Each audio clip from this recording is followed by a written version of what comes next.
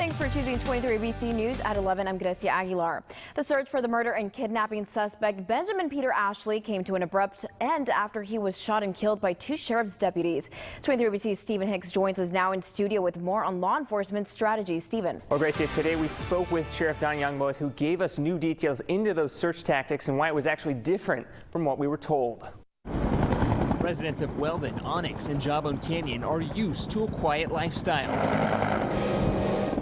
These past two weeks have been anything but. I'm glad it's over. I'm, I'm, i feel bad about the guy. Last night, the Kelso Valley manhunt came to an end after the suspect, Benjamin Peter Ashley, was spotted inside this mini mart in Inyo Inyokern. Just came in, got some uh, food and whatnot, and Seemed like the guy that was on the newspaper. Shortly after, deputies found him in the desert just behind the store. They confronted Mr. Ashley and ordered him to show his hands.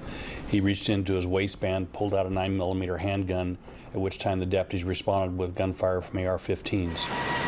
We had been told day after day that Ashley was contained within a perimeter police had set up after he shot at deputies two weeks ago. Today, Sheriff Youngblood tells us their plan was to actually get Ashley out of their search area. He had to leave that area, and that was our plan to, to push him to where he had to move because if he's inside of a cabin locked, we can't kick every door up there in that mountain. Because they suspected Ashley was sitting in a cabin watching the news, they controlled the message he would receive. Notice last week we said we were backing off a little bit, uh, and, and, there's some truth to that, but there was a strategy involved to, to uh, uh, make him surface. Because Ashley was killed, they don't know if that plan worked or if they just got lucky. But at the end of the day, Youngblood says it doesn't matter. You can run, but you can't hide.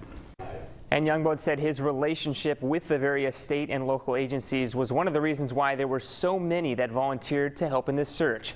Live in studio, Stephen Hicks, 23 ABC.